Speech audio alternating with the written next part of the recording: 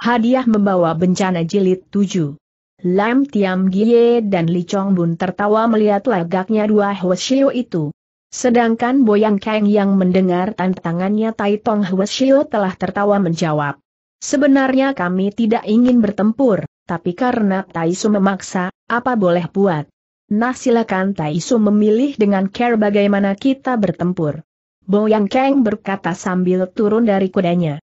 Tai Tong Hwasyo mendengar boleh memilih caranya bertempur, hatinya menjadi girang dan diam-diam melirik pada Tai Tek Hwasyo. Baiklah, Pinceng sekarang mulai, kata Tai Tong Hwasyo. Sebentar kemudian terlihat ia pejamkan matanya, seakan-akan lagi mengerahkan tenaga dalamnya. Ketika ia membuka matanya pula, dengan memegangi tongkat sebagai tunjangan tangan kirinya mendorong ke arah batu besar di lereng gunung. Entah care bagaimana tenaga dalamnya telah bekerja, sebab lantas kelihatan pada batu besar itu cap tangan. Boyang Kang melihat itu lantas mengetahui bahwa itu adalah ilmu silat yang dinamai Toat Shenin, cap tangan besar, dari si Hek Pei. Meskipun kelihatannya Tai Tong menunjukkan kepandaian itu belum begitu mahir tetapi tidak boleh dipandang sembarangan. Boyang Kang tertawa sejenak kemudian berkata, Cap tangan itu kalau diketahui oleh orang yang tidak mengerti akan berbahaya sekali, karena itu akan dikira bikinan dewa atau setan. Adanya di tempat yang berbahaya. Kalau orang paksa ingin melihatnya pasti akan mendapat celaka, jatuh tergelincir, maka sebaiknya aku gempur saja bikin berantakan. Segera ia mengerahkan tenaga dalamnya sebelum menggempur batu besar yang adanya di lereng gunung itu. Ia berkata Pat Li Chong Bun, Bun Jie, sebentar kalau batu itu aku sudah gempur rubuh, kau barengi sekalian supaya menjadi hancur tak berbekas untuk menghilangkan bencana. Li Chong Bun anggukan kepalanya sambil tersenyum. Sebentar kemudian lantas terdengar bunyi keras sekali. Batu besar itu tidak tahan menerima gempuran tenaga dalam boyang keng yang dahsyat, hingga seketika itu meluruk turun dan disambut oleh serangan Li Chong Bun. Benar saja batu besar itu menjadi hancur berantakan tak berbekas lagi cap tangan tadi.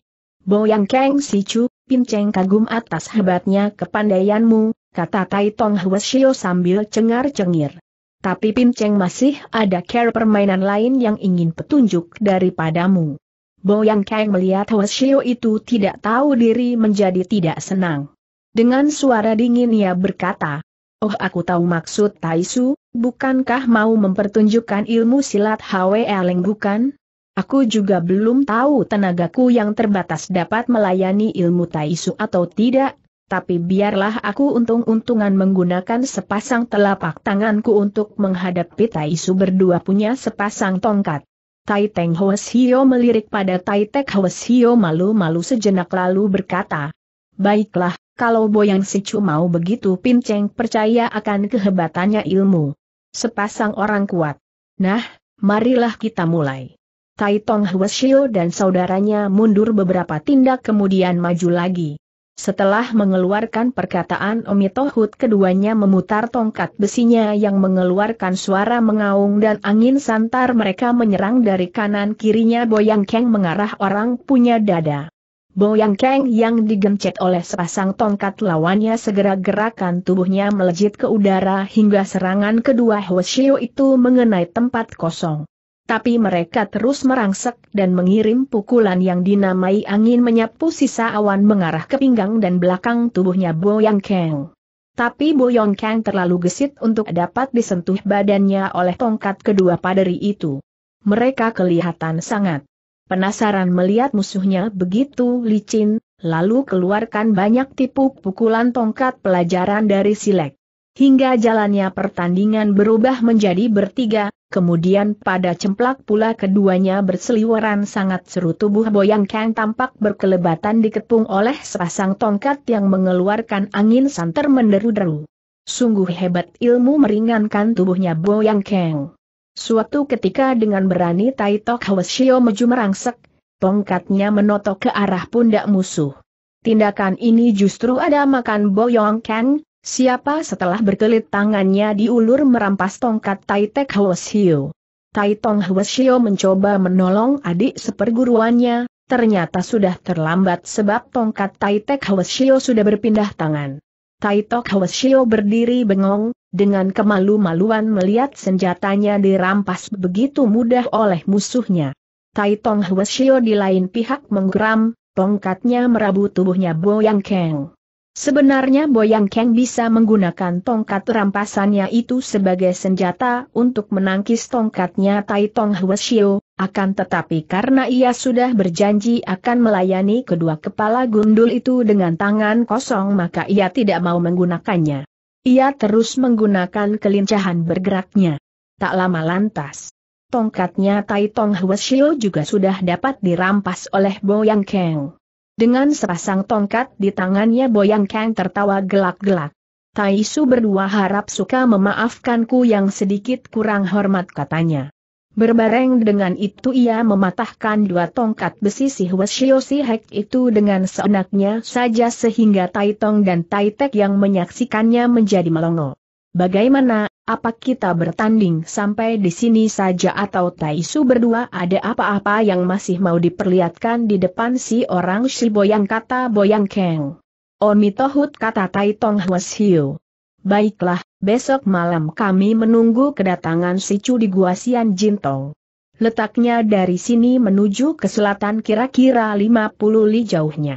Kalau pada pertandingan malam itu kami masih kalah, kami akan pulang ke Sihek untuk melapor pada guru kami dan minta supaya mengumpulkan tokoh rimba persilatan sebagaimana yang dimaksud oleh Boyong Sichu. Boyang Keng belum membuka mulut, Li Chong Bun telah menyela. HMM, kau ini Hio yang tidak tahu diri masih banyak rewel. Ketahuilah pamanku ini seorang yang sabar. Dia hanya mematahkan serasang tongkat kalian. Coba kalau barusan Aku yang menghadapi kalian berdua, HMM, jangan harap kalian bisa pulang ke Sihek lagi. Kami tak tahu dalam Gua Sian Jintong itu telah kalian pasangi perangkap apa? Gunung Golok ataukah pedang, apakah itu gua harimau atau sarang naga, kami tidak peduli. Kami tidak takut, pasti besok malam kami akan datang. Tai Tong Hwasyo dan saudaranya bingung disemprot oleh Li Chong Bun. Belum sempat Tai Tong Hwes Hio membuka mulut Li Chong Bun sudah meneruskan kata-katanya yang pedas. Aku benci sekali pada kalian, kelihatannya saja seperti orang yang beribadat pakai jubah orang beragama, tapi hati kalian masih kotor dan penuh kepalsuan. Awas kalau besok malam kalian ketemu aku. Jangan sesalkan aku tak akan memberi ampun. Tai Tong Hwasyo sangat gusar, matanya berputar-putar menatap Li Chong Bun tapi tangannya tidak berani bergerak menyerang. Ia masih bicara tenang, katanya, Li Si Chu masih begini muda, kata-katamu menusuk sekali hati orang. Si Chu menghina pada semua Hwasyo suci, apakah tidak takut nanti berdosa dan di neraka nanti mendapat hukuman? Inceng hari ini mengaku kalah, tetapi besok malam kita boleh berjumpa lagi. Pinceng pasti akan menghadapi si Chu sendiri, jangan khawatir. Kita boleh lihat nanti siapa yang lebih unggul. Li Chong Bun tertawa bergelak mendengar ocehannya Tai Tong Hwasyo. Toa Hwasyo, betul-betul lucu kau bicara, kata Chong Bun. Dalam dunia Kangou saat ini sudah keruh oleh segala siluman jahat. Aku dan pamanku akan mewakili Tuhan untuk menjalankan keadilan, membasmi penjahat yang berbuat sewenang-wenang terhadap rakyat jelata. Memenggal batang lehernya orang-orang yang menindas sesamanya yang tidak berdosa. Jadi kalau kami berdua akan ke neraka, rasanya Raja Akhirat akan menolak menghukum perbuatan-perbuatan kami itu karena sudah berbuat banyak jasa, ha, ha, ha Tong Hwasyo, Apakah kau masih belum puas bertempur? Apa masih mau mencoba tajamnya pedang penakluk iblis? Tai Tong Hwasyo tidak menjawab hanya matanya berputar dan mukanya tampak bengis seolah-olah mau menelan Li Chong Bun yang menertawakan dirinya. Mau mendebat lagi kata-katanya Li Chong Bun tidak berani, karena melihat wajahnya anak muda itu meskipun tertawa tapi ada mengandung kegusaran dan penuh dengan nafsu membunuh. Baiklah sampai besok malam, kata Tai Tong Hwasyo sambil ngeloyor mengajak Tai Tok Hwasyo pergi dari situ. Setelah dua Hoshio itu sudah tidak kelihatan bayangannya, Li Chong Bun berkata kepada pamannya, Boyong Susiok, bagaimana kita harus bertindak terhadap dua kepala gundul itu, apakah boleh aku bereskan saja jiwanya? Harap Susiok memberi pendapat sebab aku tidak mau nanti membuat kesalahan yang membuat hatimu menjadi kesal. Boyang Kang tersenyum mendengar bicaranya Seng keponakan. Ia merasa betul-betul Chong Bun seperti sudah mengakui dirinya sebagai pengganti ayahnya almarhum. Dua kepala gundul itu kalau kita lepaskan begitu saja, kata Boyang Keng. Tentu mereka akan menghasut kambratnya dan akan memusuhi kita tak habis-habisnya. Kita sendiri tidak bisa bertindak seperti orang-orang dari rimba hijau membasmi musuh sampai aku kenal ampun maka itu sebaiknya kita bikin mereka tunduk dan mundur teratur dengan sendirinya. Lam Tiam Gie akur dengan pikirannya Boyang Keng. Sambil menikmati pemandangan alam yang permai, perlahan-lahan jalankan kudanya terus dari puncak untuk beristirahat dan bertukar pikiran untuk menghadapi dua Hwasyo dari si Hek tadi. Besoknya pada waktu sore, mereka bertiga terus menuju ke selatan mencari Goa Wasian Jintong yang jauhnya kira-kira 50 li. Sampai di tempat tujuan tiba-tiba Lem Tiam Gie menunjuk pada suatu puncak dan berkata, Goa Sian Jintong adanya di puncak itu. Aku sendiri belum pernah masuk. Menurut katanya orang, jalanan di situ amat sukar dan berliku-liku. Di dalam goa ada goanya lagi. Benar-benar tempat itu amat rahasia. Orang biasa tidak berani masuk ke dalamnya. Dilihat dari tantangannya dua Hwasyo itu akan membereskan urusan di Gua Sin Jin Tong pasti mereka telah mengetahui seluk-beluknya di dalam goa itu.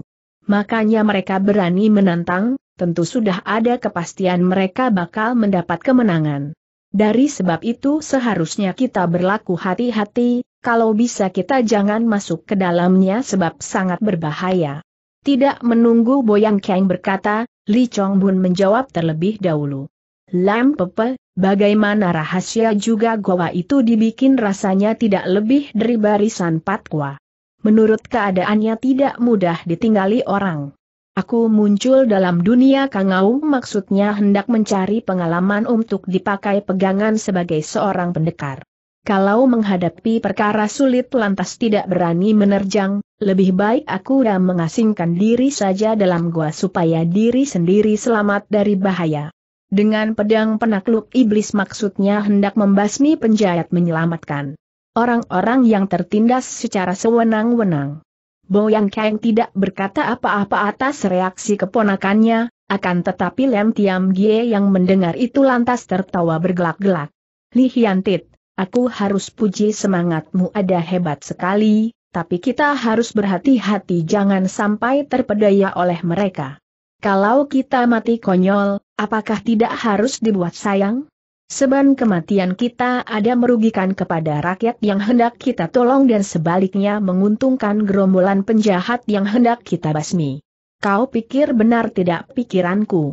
Mari kita ke puncak itu menyela Boyang Keng seolah-olah memutuskan pembicaraan dua orang itu. Mereka lalu menghampiri gunung yang ditunjuk oleh Lem Tiam Gie tadi. Dengan semangat mereka mendaki untuk mencari Gua Wasian Jintong. Sampai di tengah-tengah perjalanan ke puncak, tiba-tiba mereka ketemu dengan sebuah gua. Inilah yang dinamai Gua Wasian Jintong sebab Tai Tong Hwasyo dengan tangan kosong tampak ada berdiri di depan goa tengah menantikan kedatangan mereka.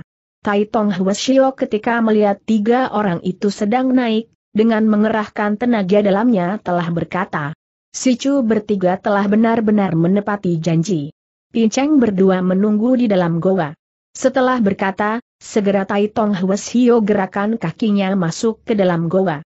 Jaraknya masih jauh dengan Boyang Keng ketika Tai Tong meneriaki mereka, maka tidak heran kalau ketika Boyang Keng dengan dua kawannya sampai di mulut goa, sudah tidak kelihatan metu hidungnya Tai Long Hwasyo.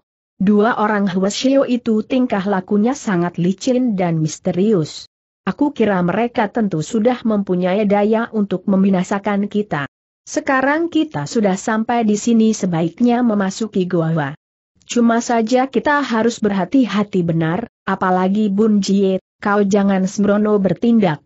Kalau nanti berbuat yang tidak-tidak, aku nanti tidak senang padamu demikian Boyang Keng memperingatkan keponakannya. Kemudian dengan sangat berhati-hati mereka memasuki goa. Mereka memejamkan matanya dulu sejenak, untuk mengumpulkan semangat dan membiasakan penglihatannya dari tempat yang terang ke tempat yang gelap. Ketika mereka membuka matanya pula, mereka melihat ada sinar terang sejauh tujuh delapan kaki dari mereka berada. Mereka masuk terus. Memang harus diakui bahwa Gua Sian Jintong itu sangat indah. Pada akhir goa besar itu ada sebuah kamar berbentuk patwa. Tiap-tiap kamar yang ada di situ ada lubang goanya. Di antara kamar-kamar itu ada kamar yang menyerupai kamar istirahatnya. Di mana Boyang Kang berdiri sejenak meneliti. Kemudian Boyang Kang ajak dua kawannya masuk ke dalam kamar itu. Semakin ke dalam semakin sunyi dan suram-suram akhirnya gelap gulita. Li Chong Bun lalu menghunus pedang pusakanya. Ternyata itu adalah pedang yang dapat memancarkan cahaya dalam kegelapan. Terlihat dinding-dinding goa itu amat licin. Pada setiap dinding sejarak dua tombak pasti ada lubang kecil.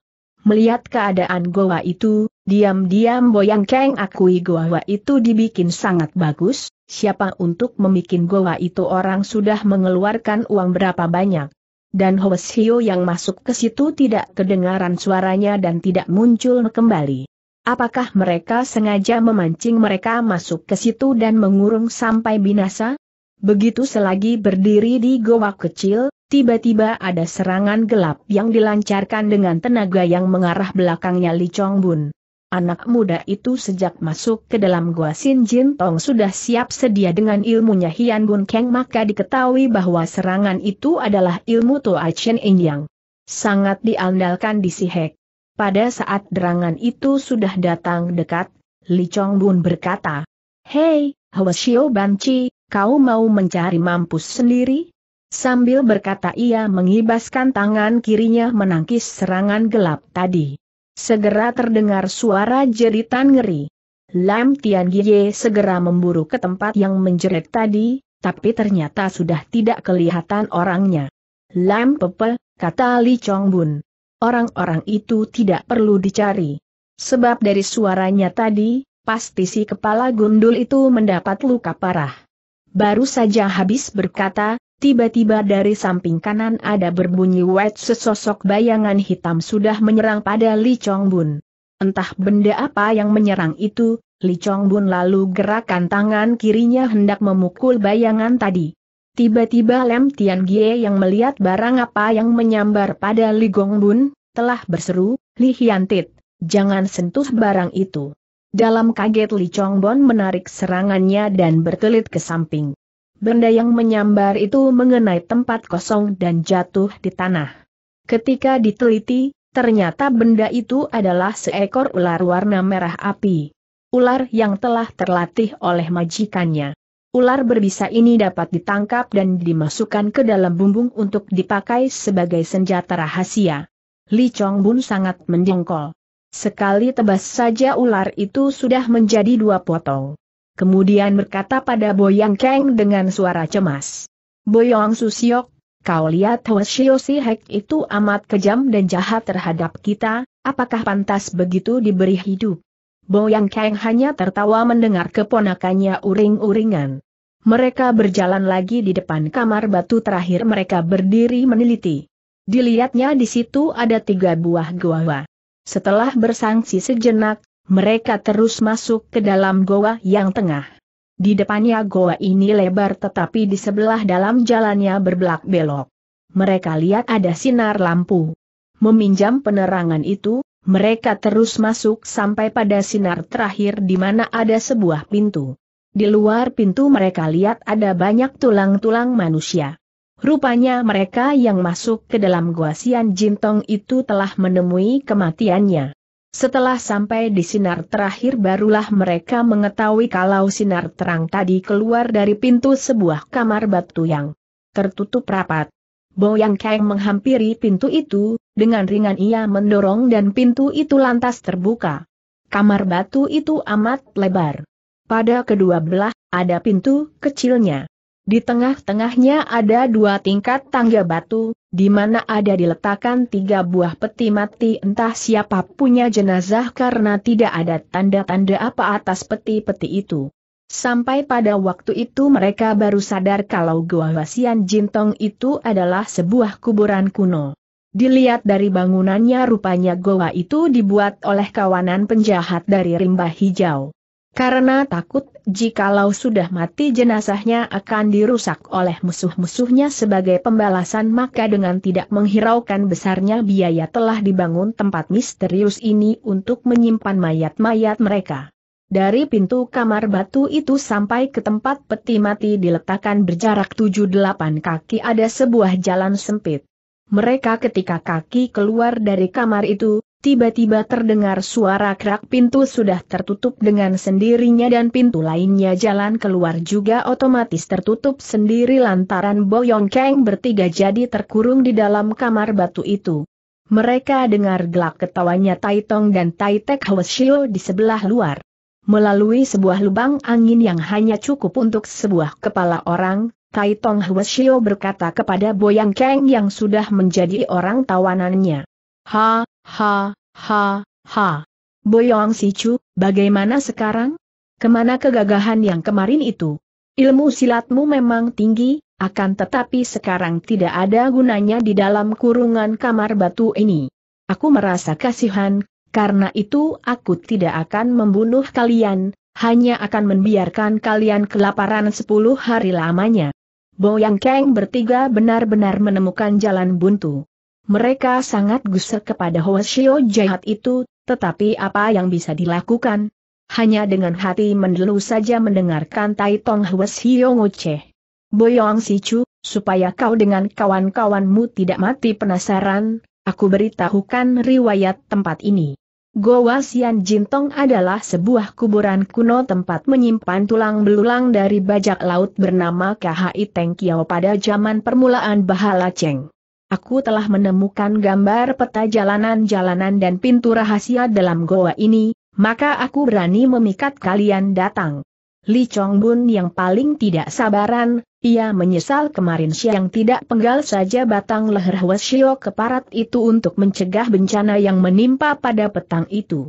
Tapi apa bisa diperbuat, ia dan dua kawannya terkurung dalam kuburan kuno dan hanya bisa menanti kematian saja.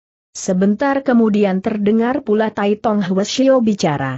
Kalian tentu akan mati penasaran kalau tidak kuberitahukan, lantaran apa kami ingin membinasakan kalian.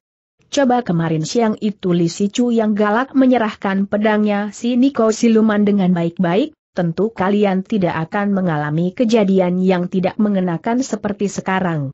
Delapan kepala dari partai kami ada membuat pengumuman, Siapa-siapa yang dapat menemukan pedangnya Tai Han Sini dan memenggal orang yang membawa-bawa pedangnya akan diberi hadiah menjadi ketua umum dari partai kami. Coba kau pikir Boyang Sicu, apakah hadiah itu tidak menarik bagi muridnya si Hek Pei? Kami berdua datang di Tionggoan perlunya mencari orang tersangkut siapa tahu nasib baik menimpa kami. Sebetulnya kami sudah putus asa lantaran sudah lama mencari dengan sia-sia. Malah ada yang mengatakan cita-citanya Tai Hansin ini tidak ada yang meneruskan. Siapa kira kemarin kami bertemu dengan kalian, ha, ha, ha. Tiba-tiba saja Tai Tong Hwasyo terus tertawa tidak henti-hentinya hingga membuat Tai Tek Hwasyo yang berada di sampingnya merasa sangat heran. Hei, Suheng kau kenapa kata Tai Tek Hwasyo sambil menepuk-nepuk bahunya. Tapi pertanyaan Tai Tek Hwasyo tidak digubris, alah tertawa Tai Tong Hwasyo lebih menyeramkan menyerupai seorang gila yang tengah kerasukan setan. Boyang Kang di dalam kurungan juga merasa heran mendengar tertawanya Tai Tong Hwasyo lain daripada yang semula, malah semakin mereka perhatikan suara ketawanya itu dengan apa yang terjadi dalam Tang Si Gui Ang Xiao. Semua pelayan-pelayannya yang tertawa demikian terus tiada hentinya sampai putus jiwanya. Apakah mungkin si iblis Bacun muncul lagi di tempat itu dan memberi pertolongan lagi kepada mereka? Memang benar Tai Tong Hwasyo telah terkena panahnya si iblis beracun yang aneh itu. Cuma saja si kepala gundul itu tinggi ilmu silatnya dan tenaga dalamnya juga hampir mencapai kesempurnaan maka ia tidak sampai tertawa bergulingan di tanah seperti yang terjadi atas pelayan-pelayannya Gui Ang Xiao. Tai Tek Hwasyo melihat keadaan suhengnya sangat payah, mukanya pucat tak dapat berbicara. Berkali-kali ditanya kenapa. Jawabnya hanya sorot matanya seperti yang memohon pertolongannya. Meskipun Tai Tek Hwasyo sangat menyedihkan. Sebentar kemudian ia telah memuntahkan darah berwarna hitam dan telah menarik napasnya yang penghabisan tanpa memberitahukan kepada sutenya ia kena diserang penyakit apa yang demikian tiba-tiba kejadiannya. Tai Tek Hwasyo amat sedih. Ia mengucurkan air mata atas kematian suhengnya yang tinggi kepandaiannya, cerdik dan banyak akalnya. Dalam keadaan ragu-ragu memikirkan kematian suhengnya yang amat misterius, lalu jongkok mengucapkan doa untuk arwahnya Seng Suheng supaya mendapat tempat yang baik di alam baka. Di lain pihak, Boyang Kang merasa curiga ketika dengan tiba-tiba ocehannya Tai Tong Hwasyo tidak kedengaran lagi. Mereka jadi saling pandang sejenak. Apa yang terjadi di sebelah luar kepingin mereka tahu. Ketika mereka memeriksa sekitar kamar, mendadak matanya Li Chong Bun tertarik pada beberapa lubang angin di dinding sebelah atas, cuma bagaimana mereka bisa mencapai lubang angin itu karena untuk lompat ke situ tak ada pegangan sama sekali. Matanya Lem Tiam Gie tiba-tiba mengawasi pada sebuah bangku panjang dari batu yang kiranya dapat digerakkan. Ia menghampiri dan memeriksa. Betul saja bangku panjang itu dapat digerakkan. Ia lalu memanggil kawan-kawannya datang memeriksa. Boyong Hiante, bagaimana kalau kita gotong batu ini ke tepi dinding buat? Kita melongok melalui lubang angin keluar. Kita ingin tahu apa sebenarnya telah terjadi di sebelah luar. Sebab si kepala gundul itu ocahannya mendadak lantas lenyap seolah-olah ia mendapat gangguan sesuatu yang membuat dia tidak sempat membuka mulutnya lagi. Boyang Keng angguk-anggukan kepalanya sambil mengawasi pada bangku itu. Ia pikir beratnya tentu bukan main. Ia setuju dengan usulnya Lem Tiam Gie. Mereka lantas bekerja.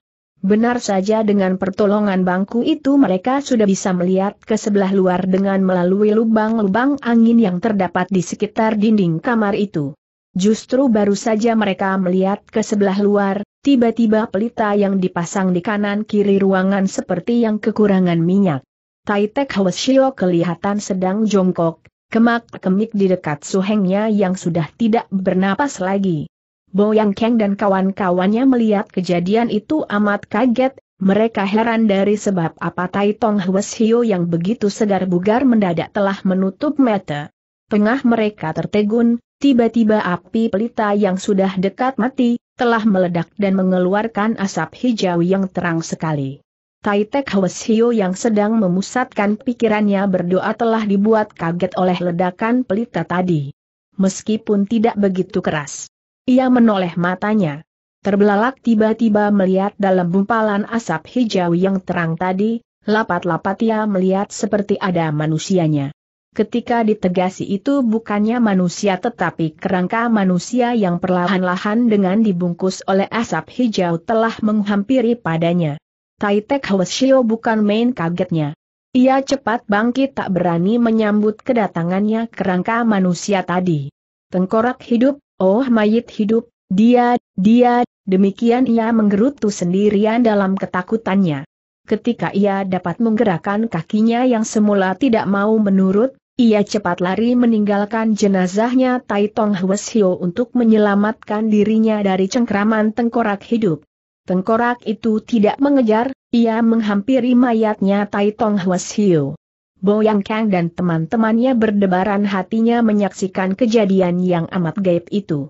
Mereka terbelalak matanya mengikuti apa yang akan terjadi lebih jauh setelah tengkorak hidup itu menghampiri mayatnya Tai Tong Hwasyo.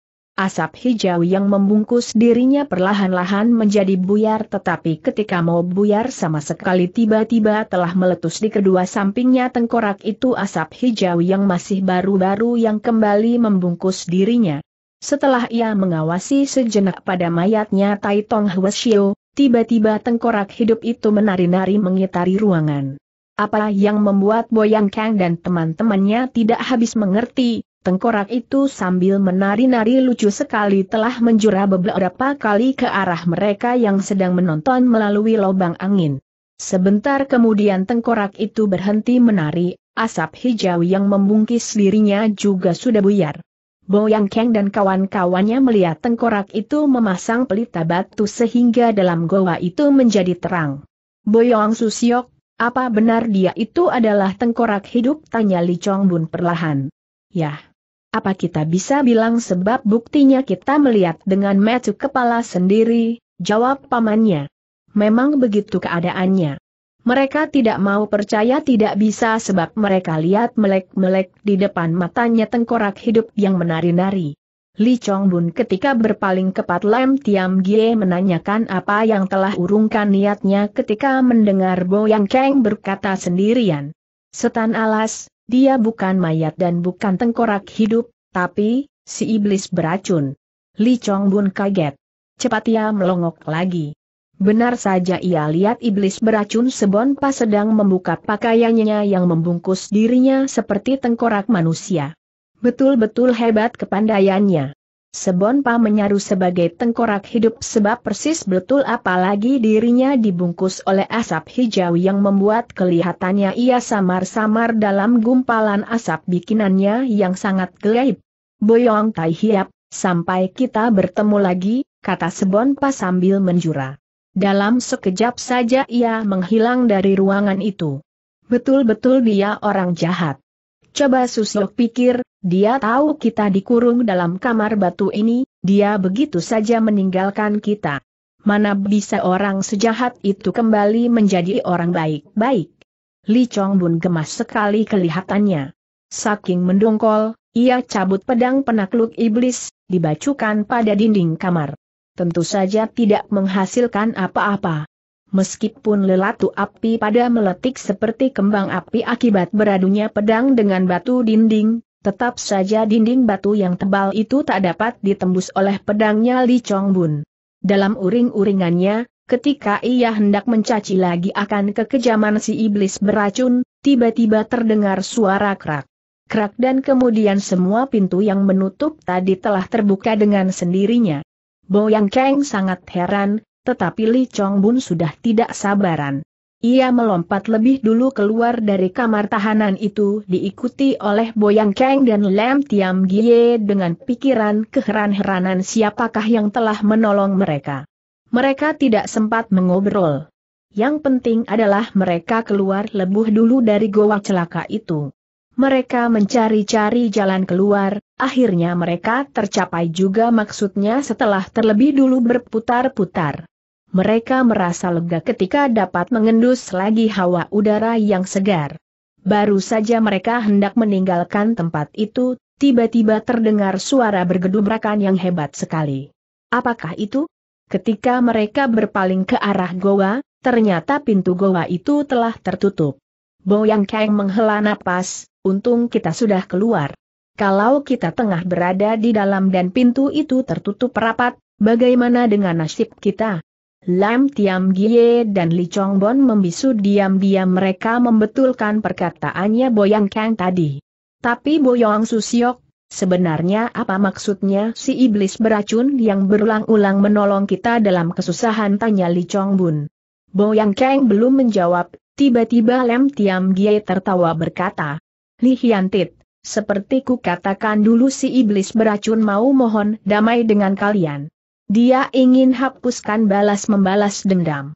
Ia rupanya mau kalian sadar bahwa dia benar-benar mau menebus dosanya.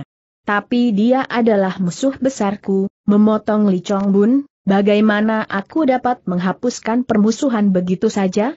Dia sudah membunuh ayahku. Aku yang sebagai anaknya bagaimanapun juga akan menuntut balas. Boyang Kang tidak berkata apa-apa, muka Li Chong Bun kelihatannya gusar. Dalam hati diam-diam ia juga bimbang akan kelakuannya si iblis beracun yang misterius itu, beberapa kali sudah menolong jiwa mereka. Memang benar kata-katanya Lem Tiam Gie tadi bahwa si iblis Bacun mau bikin mereka sadar bahwa ia betul-betul ingin menebus dosa. Lam Tiam Gie juga alihkan pembicaraan-pembicaraannya ketika melihat anak muda itu kelihatannya sangat gusar. Demikianlah, mereka lalu cemplak lagi masing-masing kudanya dan meneruskan perjalanannya lebih jauh. Seperti yang sudah-sudah, kembali dalam perjalanan ini sambil menikmati pemandangan alam yang permai. Mereka bertiga bercakap-cakap dengan gembira. Sudah tentu kejadian di Gua Asian Jintong merupakan bahan pokok mereka bertukar pikiran. Tanpa terasa, perjalanan mereka sudah sampai di perbatasan Provinsi Cekiang dan Hokian. Ketika melewati Gunung Hang Lengsan tiba-tiba Lem Tiam Gie menunjuk ke salah satu puncak seraya berkata, Bo Yang Hiante dan Li Hiantit, di sana aku ada membangun sebuah rumah batu kecil. Sudah lama aku tidak pergi melihat, maka sekarang aku ingin ke sana dulu. Sebentar malam kalian berdua datang ke tempat itu untuk beristirahat barang satu dua hari. Boyang Kang tertawa. Ya, to aku sudah lama tidak pulang, memang seharusnya rumah itu dilihat. Kami berdua sudah tentu sebentar malam akan datang ke sana, jawabnya. Aku membangun rumah itu sebenarnya bermaksud kalau-kalau ada orang Kangou yang kesasar, dapat meneduh di situ untuk Sementara, kata Lem Tiam Gie, perhubungan kita masih belum lama berkenalan, rasanya sangat erat. Maka sebentar malam aku ingin mengatakan apa-apa kepada kalian berdua yang keluar dari hatiku pribadi. Harap kalian jangan lupa datang. Lam Tiam Gie setelah tertawa lantas memajukan kudanya dan pergi naik ke puncak Cip Cui Kuhong. Setelah Lam Tiam Gie pergi jauh, Li Chong Bon menanya pada pamannya, Sebenarnya apa yang hendak dikatakan oleh orang tua itu? Boyang Kang hanya mengatakan boleh jadi orang tua itu akan memberi nasihat kepada mereka berdua. Menantikan sang malam tiba, paman dan keponakan telah melewatkan waktunya dengan jalan-jalan menikmati pemandangan yang permai dan sunyi tentram di sekitarnya tempat itu. Setelah sang malam tiba, mereka lalu bedal kudanya naik ke puncak di mana Lem Tiam Gie membangun rumahnya. Ketika mereka sampai, benar saja di situ ada sebuah rumah dari batu, keadaannya sangat tenteram, di samping rumah Ab kelihatan air terjuh yang menarik sekali. Di pintu rumah sudah menantikan Lem Tiam Gie menyambut mereka dengan muka tertawa-tawa. Berdua setelah masuk ke dalam dilihat di atas sebuah meja batu sudah diatur barang hidangan dan minuman. Lam Toako, kau tergesa-gesa pulang lebih dulu rupanya hendak menyiapkan barang makanan untuk kami berdua, hahaha, Boyang Keng bergurau. Lam Tiam Gie dengan ramah mempersilakan mereka berdua duduk di atas kursi batu. Tetapi sebelum duduk, Boyang Keng dan Li Chong Bun terbelalak matanya berdiri bengong ketika melihat di sudut dari ruangan itu terlihat sebuah peti mati. Lam Tiam Gie tertawa bergelak melihat kelakuannya dua orang itu. Bo Yang Hiante dan Li Hiantit, tentu kaget melihat ada peti mati di sini. Mari, mari kita lihat ia mengajak tamunya. Bo Yang Kang dan Li Chong Bun mengikuti Lam Tiam Gie. Chuan rumah segera membuka tutup peti mati, benar saja di dalamnya tidak ada mayatnya, hanya ada kasur, bantal dan selimut lengkap seolah-olah itu adalah tempat tidur. Setelah menutup lagi peti tadi, Lam Tiam Gie ajak dua sahabatnya menghampiri meja hidangan lagi, di mana mereka berkumpul duduk dengan muka berseri-seri. Lam To aku, barusan aku kira ada isinya maka dalam hati merasa heran, siapa yang telah meninggal dan belum dikebumikan. Jenazahnya? Tetapi sekarang setelah mengetahui kosong, hatiku merasa lega. Tapi To aku, Sebenarnya peti itu tempat apa, di dalamnya aku lihat ada bantal dan kasur seperti biasa ditiduri orang? Demikian Boyang Kang menanya. Lam Tiam Gie tertawa riang. Ia mempersilakan dua sahabatnya tenggak araknya kemudian ia berkata, Boyang Hiante memang benar, peti mati itu adalah tempat tidur orang dan orangnya adalah aku sendiri. Aku di beberapa tempat sunyi dan permai ada membangun lima buah rumah yang masing-masing dilengkapi dengan peti mati tempat aku tidur dan tutupnya adalah merupakan kelambunya. Aku biasa kalau tidur dalam peti suka aku kunci rapat-rapat.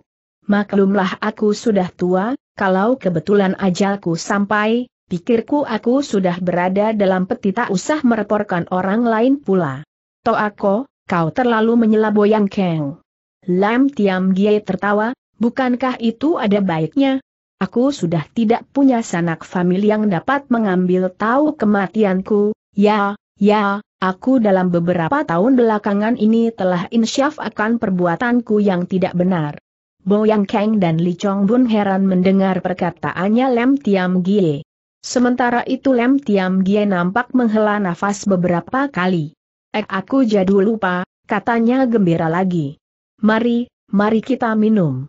Aku menyuguhkan kepada kalian arak baik sebagai tanda ikatan persahabatan dalam perjalanan kita selama beberapa waktu berselang. Ia kelihatan repot menuangkan arak di cawan dua tetamunya. Bertiga tampak gembira menenggak arak dengan dentapan sekadarnya. TBA tiba Lem Tiam Gia berjamkan matanya sejenak setelah ia menenggak arak paling belakang. Ketika ia membuka lagi matanya, kelihatan ada perubahan yang tidak disangka-sangka. Tampak matanya guram entah kenapa. Sebagai seorang tua yang sudah banyak pengalaman ingin aku memberikan satu dua patah kata kepada kalian berdua, entah apakah kalian keberatan atau tidak katanya. Oh tidak malah kami berdua akan merasa sangat berterima kasih akan nasihat dari Toaku. Silakan bicara Boyang Kang menjawab dengan girang. Setelah batuk-batuk sebentar Lem Tiam Gie berkata, ilmu silat kalian tidak mengecewakan, malah jarang mendapat tandingan pada masa sekarang. Cuma pengalaman kalian masih belum banyak.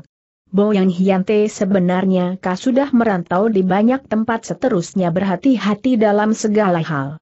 Apalagi, mengingat pada tahun depan tanggal 3 bulan 3 akan melakukan pertempuran di Ciu Tioksan musuhmu itu sangat jahat dan kejam, tidak mau mengalah. Mereka banyak akal liciknya, seharusnya kau menjaga kewaspadaan dan jangan pandang enteng kepada mereka. Boyang Keng heran mendengar bicaranya Lem Tiam Gie.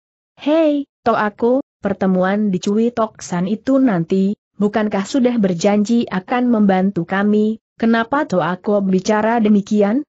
Lam Tiam Gie menghela napas, Boyang Hiante memang katamu itu betul. Tapi ya udara tak dapat diramalkan bakal terang atau hujan. Demikian juga dengan manusia ada malang dan mujurnya pada saat yang tidak diketahui. Menurut dugaanku, umurku tak sampai pada tahun depan musim semi. Karena di sepanjang jalan pergaulan kita amat erat maka aku tidak boleh tidak aku harus membuka suatu rahasia kepada kalian. Boyang Kang tidak mengerti ke mana juntrungan bicaranya Seng sahabat itu sedangkan Li Chong Bun yang mendengar Lem Tiam Gie berkata hendak membuka rahasia, diam-diam dalam hatinya menanya, kau hendak membuka rahasia apa? Sebelum Lem Tiam Gie melanjutkan bicaranya, Li Chong Bun bertanya, Lem Pepel. Rahasia apakah itu yang hendak diberitahukan kepada kami? Lem Tiam Gie tersenyum. Li Hiantit sabar sedikit, katanya harap kalian berdua jangan kaget. Coba pikirkan, kalian datang ke selatan untuk menempuh perjalanan ribuan li jauhnya. Sudah berapa kali kalian menghadapi bahaya maut? Berbareng ia lalu menuangkan arak dari poci ke tanah, segera arak itu tampak mendidih. Paman dan keponakan itu sangat kaget melihat kejadian demikian, mereka mengira bahwa mereka telah minum arak beracun yang dapat membuat hangus dan putus usus-usus. Wajah mereka berubah seketika. Pucat dan merasa sangsi. Lam Tiam Gie mengetahui alam pikirannya dua orang itu, maka sambil tersenyum ia berkata, Kalian jangan kaget. Tunggu setelah sulapanku selesai barulah mengajukan pertanyaan, sambil berkata ia membuka tutup poci arak. Ternyata di dalamnya ada dua tempat ialah arak biasa dan arak beracun yang sangat keras. Bukan main Boyang Kang dan Li Chong Bun kagetnya. Sebelum mereka mengajukan pertanyaan, Lam Tiam Gie sudah ambil cawan arak paman dan keponakan dan dituang isinya. ke tanah, ternyata tidak berdidik seperti tadi. Tetapi ketika arak dalam cawannya sendiri yang barusan diminum, ketika dituang telah bergolak mengeluarkan asap seolah-olah arak itu ada apinya. Setelah bengong sejenak menyaksikan kejadian itu, mereka jadi kaget dengan tiba-tiba sebab mereka mengerti kalau Lam Tiam Gie telah meminum arak yang ada racunnya. Mereka cepat berdiri. Li Chong Bun cepat keluarkan tanduk badak dinginnya untuk memunahkan racun. Lam Popo, kat Li Chong Bun sambil menyodorkan benda pemunah racun.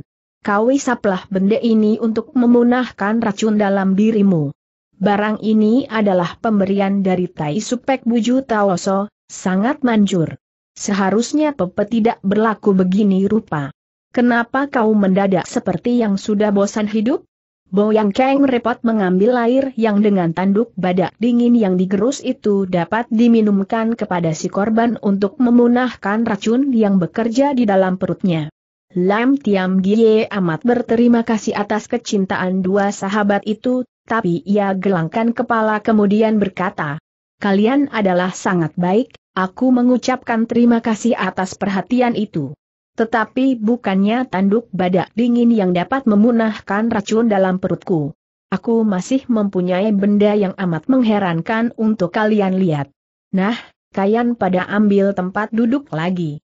Boyang Kang dan Li Chong Bun menurut, masing-masing pada duduk di kursi pula. Ia tertawa getir, kemudian tangannya meraba kupingnya, dicopot ditaruh di telapak tangannya diperlihatkan kepada dua orang itu. Mereka sangat terkejut melihat kuping yang dicopot. Lantas saja Boyang Keng ingat akan itu bingkisan yang membawa bencana hingga Li Hoai bin ayahnya Li Chong Bun mati konyol. Dalam keragu-raguan darahnya mendidih, ia berteriak keras, kau, apakah kasih iblis? tapi perkataannya belum habis mendadak terdengar suara berisik dari terdengarnya barang berat. Beberapa lingkaran baja telah keluar dari dinding rumah dan meringkus paman dan keponakan itu sebelum mereka dapat bergerak. Itulah Lam Tian Gie alias Cian Tok Jin Mo, si iblis beracun, yang cepat memencet alat rahasia yang terdapat di bawah meja untuk meringkus orang yang hendak membalas dendam pada dirinya. Terlihat dirinya dalam keadaan tidak berdaya, dalam kuasa musuh besarnya, paman dan keponakan itu merasa sangat cemas. Tapi Boyong Kang mencoba berlaku tenang ingin melihat perkembangan lebih jauh atas perbuatannya si iblis beracun maka ia mencegah ketika Li Chong Bun mau obral caciannya. Lam Tiam Gie mengambil kedok yang berbau obat lalu dipasang di wajahnya. Ia menekan-nekan sejenak lalu membukanya lagi. Lalu tertawa gelak-gelak menghadapi Boyang Kang. Boyong Tai Hiap jangan gelisah, apakah kau masih mengenali kepadaku ini? Ternyata wajah Lem Tiam Gie telah berubah menjadi si iblis beracun uang Boyang Keng kenali benar. Dalam hati ia mengeluh.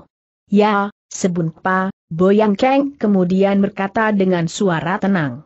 Aku sangat memuji akan kecerdikanmu, sehingga aku dan keponakanmu jatuh dalam kekuasaanmu. Cuma saja aku merasa heran. Kita dari Anhui berjalan bersama-sama. Boleh dikatakan kita berkumpul bersama-sama dalam pergaulan yang sangat erat. Kenapa waktu itu kau tak turun tangan dan baru sekarang dalam rumah batu ini kau membuka rahasia dan menunjukkan muka aslimu? Tolong jelaskan maksudmu sebenarnya bagaimana?